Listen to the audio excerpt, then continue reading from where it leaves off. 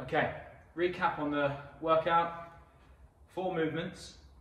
You can perform a set amount of reps on a rolling clock of three to three and a half minutes. I would start on five reps. So five reps all on my right side, five reps all on my left. Whatever time left over in those three and a half minutes is my rest.